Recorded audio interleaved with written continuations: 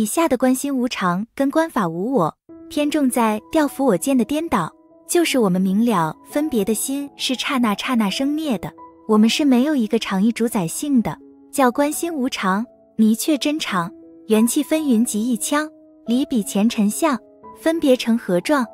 饶你会思量，终归往相，过未无踪。现在圆常往，切莫把留住心机做主张。我们心中有一个自我概念。我们先讲妄想，这个明了刹那刹那的心是怎么来的？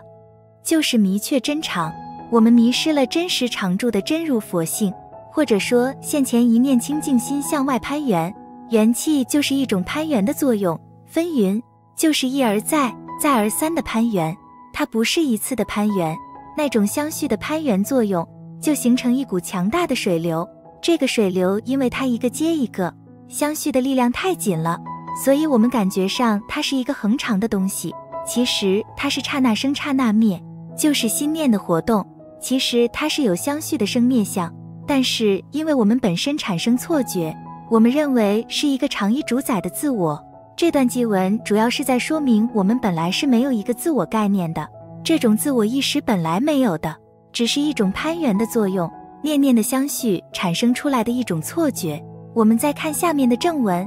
离彼前尘相，分别成何状？妄想的心跟真实的心判断就在这一块。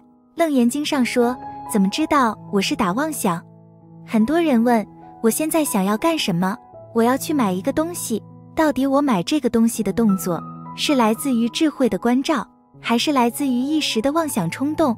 妄想有一个特点，它是离尘无体，离开了外境就没有自体了。我们前面说过。妄想一定要透过感受，感受是所有罪业的根源，一定要外境刺激感受，然后再启发妄想。所以你把外境拿掉，你这个妄想就没有了。你看我们今天对某个人起嗔心，你心中把那个影像拿掉，你的嗔心就不活动了。你的心对某一个人起贪爱，你把那个所缘境拿掉，贪爱心就没有了，他离开了前尘，离开了所缘境，他就没有自体。这就是为什么《楞严经》要我们修行人反应慢一点。妄想的天敌就是时间。你想要做什么？如果没有把握，你放个一两天。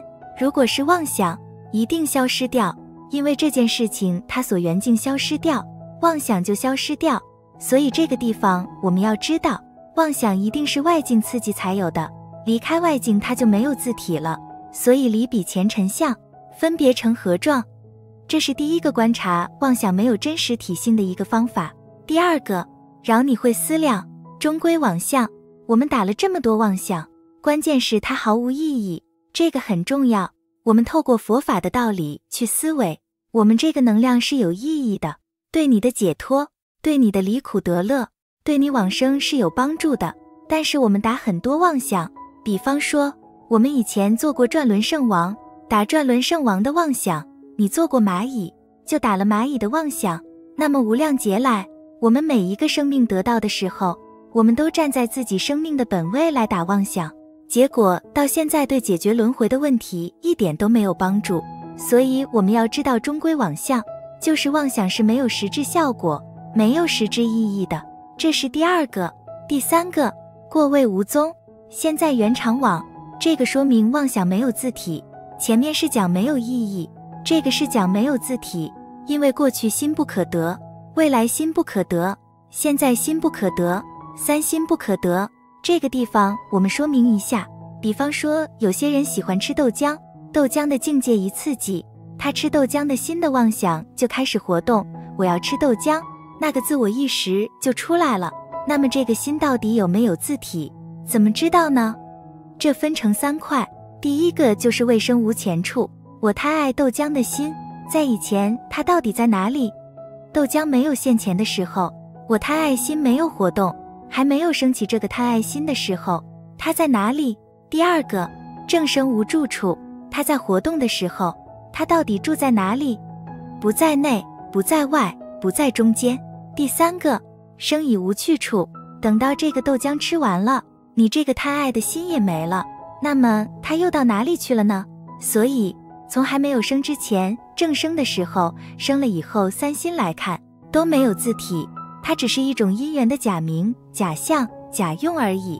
它只有作用，但是它没有字体，是你自己捏造出来的，它没有真实意，所以叫做过去心不可得，现在心不可得，未来心不可得。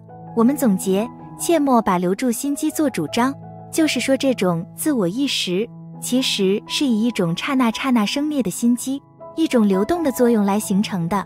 我们不能把它当做一个主人翁。外道，他也相信轮回，有很多外道也是相信因果的，但是他不知道妄想是没有字体，他在妄想当中有一个自我概念，他认为说我去造善业，也是由我来的果报。就好像我今天死亡，我这个房子破旧了，我不要了，我换到一个新的房子来住，但这个里面的人是不变的，这就是一种自我概念。其实我们生命改变的时候，我们的想法也改变了。你想想看，你前生是个男人的时候，你是这个想法吗？不可能。一个男人的身心世界转成女人的时候，你的思想也改变了。你以前是个蚂蚁的时候，你是这个想法吗？也不是这个想法，所以这个妄想，它是随你的生命在变化的。我们过去经历过很多次的生命，只有一个东西是不变的，就是和气自性，本自清净。那个清净离一切想明了的心性，就像念珠一样贯穿到最后。只有你当下这一念心性，是你真实的东西。浮在心性表面那些影像，通通是捏造出来的。只有镜子是真实的。一个男人站在镜子前面，他现出男人的影像；一个蚂蚁站在镜子前，他现出一个蚂蚁的影像。这些都是没有意义的，是虚妄的，那是寻夜发现，随顺因缘而显现出来的。所以，这个关心无常，就是破坏我们对内心的一种自我概念。这个地方其实是一种空观的智慧。